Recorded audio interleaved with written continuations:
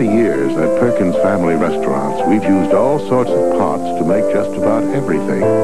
Except, ironically, our three new delicious pot pies. All in a fresh-baked flaky pastry crust. Introducing our beef, chicken, and seafood pot pies. Only at Perkins, where we've taken the pot out of the pot pie, just not.